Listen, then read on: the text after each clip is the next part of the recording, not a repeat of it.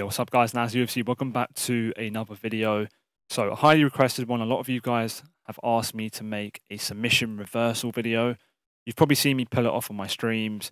So I'm going to show you guys every single one. I'm also going to show you my favorite ones, my go-to ones.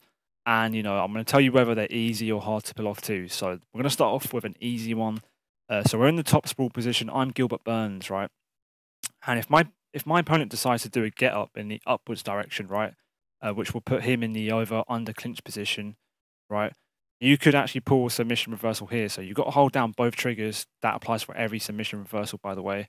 Hold down both the left trigger and the right trigger. And then when he moves up, you flick that right stick up, right, to do a, a submission reversal. And that should put you in the guillotine choke position, right? So, and by the way, when you hit these reversals, you get put in the submission reversal with grapple advantage. So if you want, you can go for the submission straight away will be slightly faster.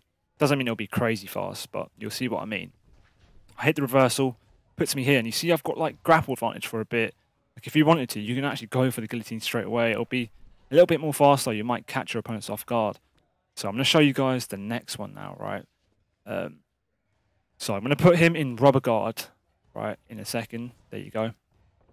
And so I'm going to quickly say, to do this reversal, your opponent needs to be able to do the flying armbar, I believe, right? And you need to have rubber guard too. So fighters like Dustin Poirier can do this, Gilbert Burns, of course. Um, who else is there, guys? Rosciano Nunes is another one. So anyone who's got, you know, four-star armbars and rubber guard. Tom Aspinall is a fighter who has a flying armbar, but he doesn't have rubber guard. So, you know, there's a few you can't do it with. You could definitely do it with Gilbert Burns, though.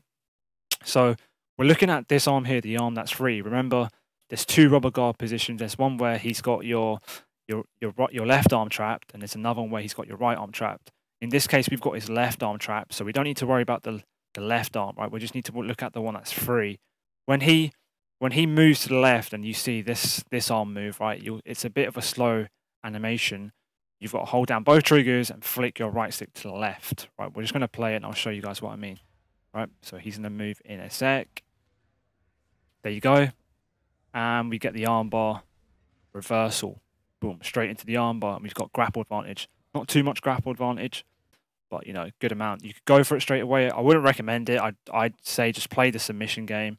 If I'm being honest, play it safe.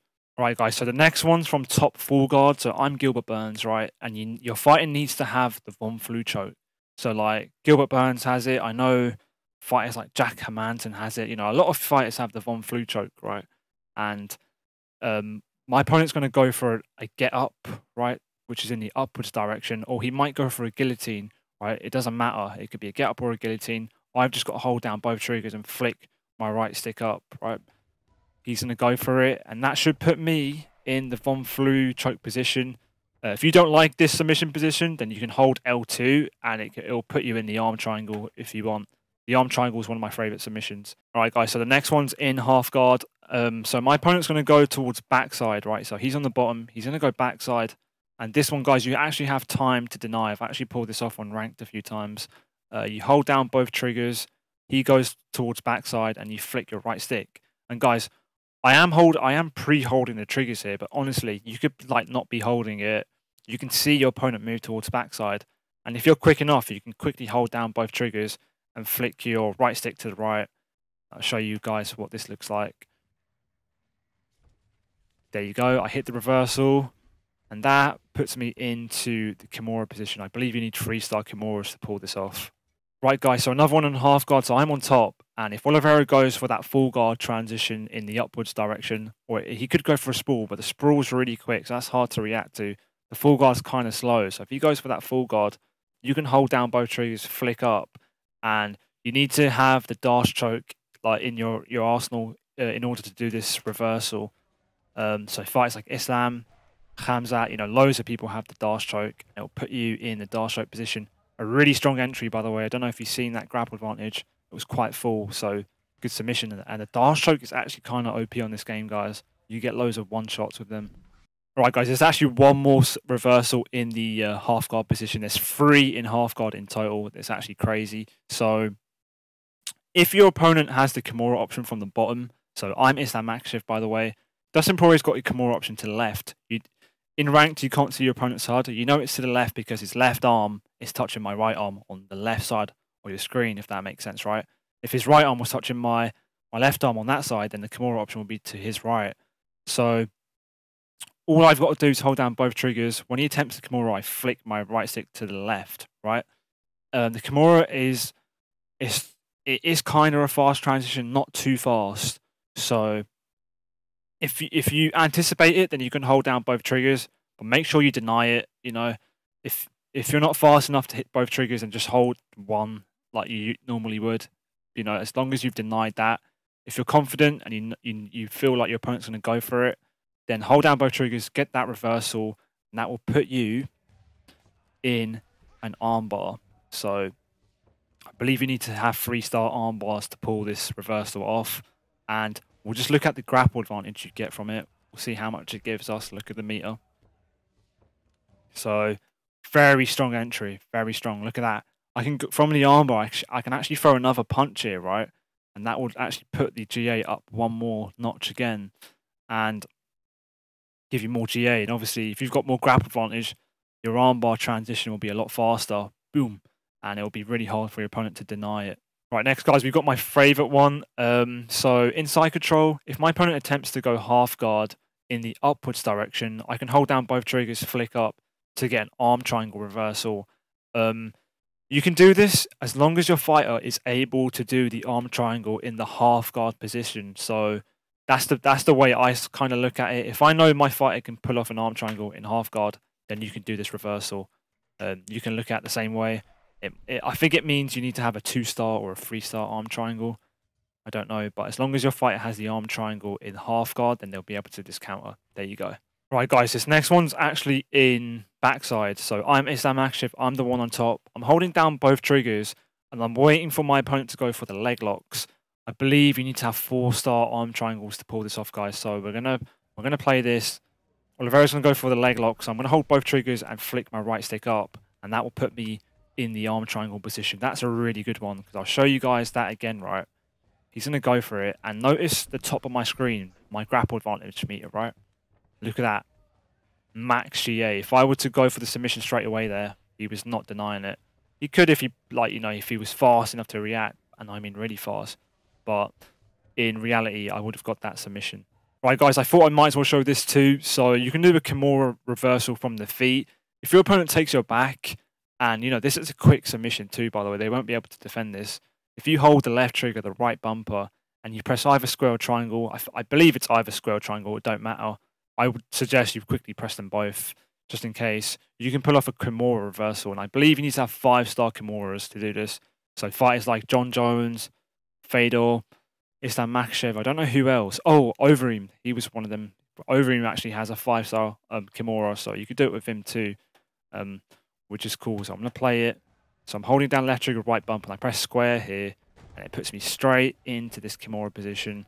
It doesn't give you grapple advantage, guys, so it's not a really strong entry, so you've got, got to be really careful and wait for them to move right away. Right, guys, for your interest, you can actually look at your submission moves list. Uh, if you go to game help, then game moves or moves list, and you can go to submissions and you can see like what stars you have and all that sort of stuff. Like Makhachev's got a three star armbar. You know, he's got some high level arm triangles, and you know he's got he's got he should have a high level Kimura. Oh, this is Dustin Poirier. Dustin Dustin Poirier's got a two star Kimura. His guillotine should be a lot higher, in my opinion. To be fair, I don't think he's ever pulled off a guillotine submission. All right, guys, I've got a little extra for you guys. You know, this is actually an exploit. I'm going to show you guys for fun. I don't care. EA can fix it if they want. If they see this video, if they don't, then you guys can use it. It's really rare that you'll be able to use this in a real match, to be fair.